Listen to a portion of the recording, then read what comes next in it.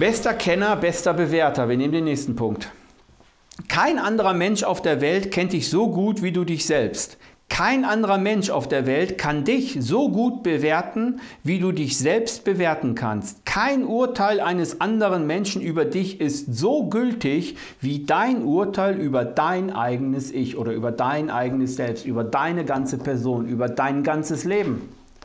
Ja, das, ist zum Beispiel, das kommt zum Beispiel aus der äh, Täterarbeit, weil die meisten Täter, aber das kann man auch äh, auf die ganzen Menschen da draußen ebenfalls genauso brechen, ja, sind fremdbestimmte Leute, die derart fremdbestimmt sind, dass wenn man die schon schräg anguckt, dass die denken, man hat sie angemacht. Jetzt ist das zwar nicht so ein hohes, so ein, so ein sensibles oder so ein, so ein pervertiertes Niveau, das wir im Alltag haben, ja. Aber äh, wir sind auch drauf, wenn der andere sagt, so, so, äh, ja, da bist du aber doof und da bist du aber gut und da bist du aber nicht so gut und so weiter. Ich frage mich, was soll das? Ich weiß doch am besten, was ich gemacht habe. Ich kann mich erinnern, äh, da habe ich noch in die Windeln gemacht. Das können wir ja fast alle. Ich hab, kann mich daran erinnern, wo ich noch ein Baby war. Ja, ich kann mich erinnern, wo ich ein krabbelnder kleiner Junge war. Ich kann mich an die ganzen äh, Tiefschläge erinnern, die in meiner Familie passiert sind. Oder, und das kann ja jeder für sich auch, auch die, die Supererlebnisse in der Familie. Daran kann sich doch jeder selbst erinnern. Ich weiß, warum ich so geworden bin. Und hör, hör auf, mir auf den Semmel zu gehen, mir zu erzählen, so und so sei das besser. Hä? In meiner Welt ist das aber nicht so, weil ich, mein Gehirn ist so geworden, meine Psyche ist so geworden, mein limbisch, also mein emotionales System ist so geworden, mein Herz tickt so und, und so. Und äh, das ist Rüdiger Lenz. Äh, also, so, so denke ich wirklich. Und so lebe ich auch. Und habe damit kein Problem. Und die Menschen um mich herum haben auch kein Problem, weil ich bin dann geerdet, genordet. Ich bin ein geerdeter Mensch, weil ich das weiß. Und ich bin nicht abhängig von dem Urteil, was mir irgendein anderer erzählt. Es gibt Urteile, die, die ich von anderen möchte.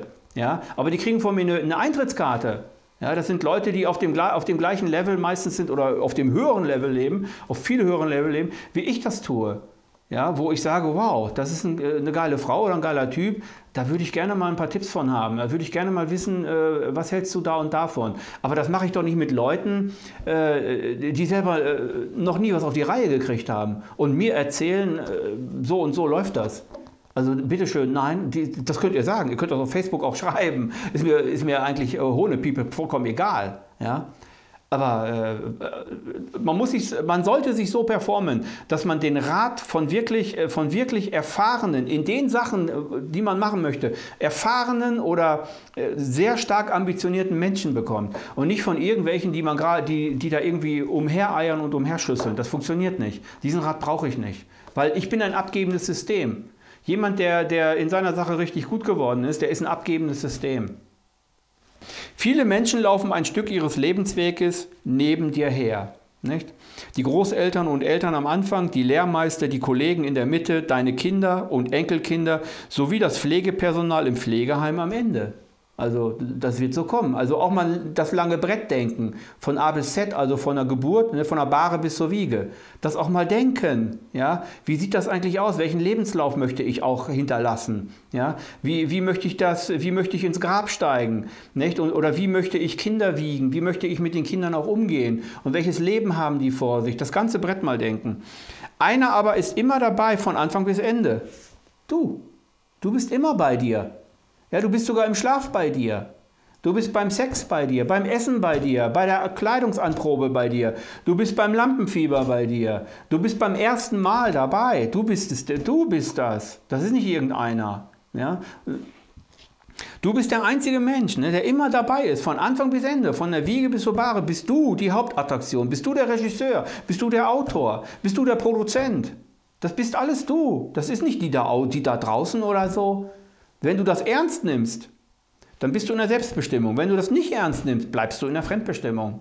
Dann bist du der Bestimmer, dann bist du der Handler, dann bist du der Tätige. Ich sage mal der Täter, jetzt nicht im Sinne von, von, von, von Kriminalistik denken, der Täter, nicht? sondern der, der seine eigenen Taten vollführt in dieser Welt, da bist du der Tatbringende. Ne? Und das ist etwas sehr Positives. Außerdem kennt keiner deine aktuellen Gedanken von heute so gut wie du. Der Zweitbeste, hat höchstens 10% Wissen über das, was in dir wirklich abläuft. Das sind eventuell deine Eltern oder deine Geschwister. Vielleicht auch der Partner oder die Partnerin.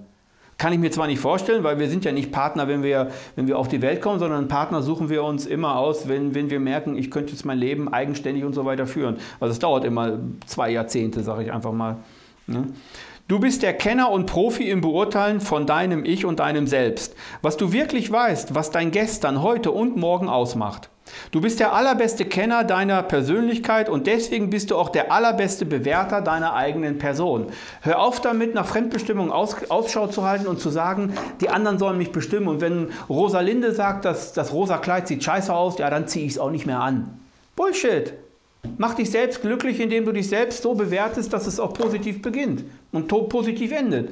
Mach einen positiven Tag aus dem Tag, was du gerade hast und lass dich nicht äh, äh, abbringen von dem, in dem andere dich bewerten. Was bedeutet denn, dass andere dich bewerten? Andere bewerten einen doch nur, damit sie sich besser fühlen. Die beste Freundin kann sagen, ja, oder der beste Freund kann sagen, okay, ja, also das Jackett sieht, ne, muss heute ein anderes. Das kann man annehmen. Das ist eine andere Bewertung äh, als das, was ich jetzt gerade meine. Ja, einen guten Tipp. Du hast ja auch die Karte ihm gegeben. Deinem besten Kumpel sagst du, äh, sag mir mal dies und das. Passt die Brille, äh, passt der Haarschnitt oder wie sieht's aus? Ja. Ja, das müsst ihr aber anders machen. Oder, oder ich bin kein Kenner von Wein. Welchen Wein würdest du heute nehmen zu dem und dem Essen? Ja, ich würde da, ja, einen Rioja würde ich nehmen. Ja, und den und den würde ich davon nehmen und so. Ja, das würde ich nehmen. Und dann nimmst du das und merkst, oh, der hat recht, ne? schmeckt gut. Und dann kannst du, den, dann kannst du diesen Rat auch annehmen. Aber alle anderen Dinge äh, soll, sollte der, sollten die Menschen nicht machen. Das sollte man echt nicht machen.